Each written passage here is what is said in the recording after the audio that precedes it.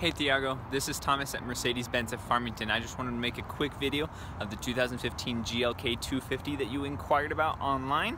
Um, I like to do this mostly because it's easier to see the condition of the vehicle from a video than it is from pictures, and this one's in remarkable condition. So let's check it out. Um, so what I'll do is I'll just kind of go around the exterior and then show you the interior, point out any kind of scratches or dents or dings. Um, but honestly, this has been a very well maintained vehicle. Obviously, only has about 15,000 miles on it anyway.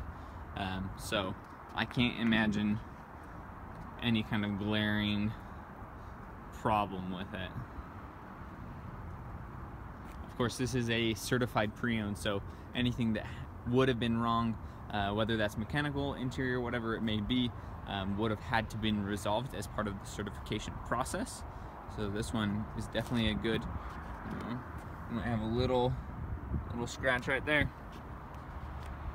But on a two-year-old vehicle, if that's the extent of it, actually we started receiving 2018 GLC, so as a three-year-old vehicle, that's not too bad.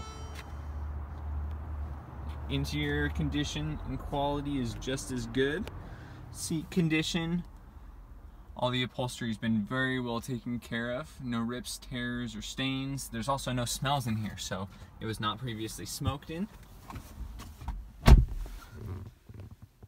And you have the center console dash area, the instrument cluster. I guess there it is, 16,141 miles. So I hope that was a good representation of what to expect with this vehicle. Um, it has been here for I think about a week and it is very popular. Um, definitely had a couple people come and look at it so far, one even this morning. So um, if this is a vehicle that you're considering, definitely reach out sooner rather than later. I don't expect it to last very long.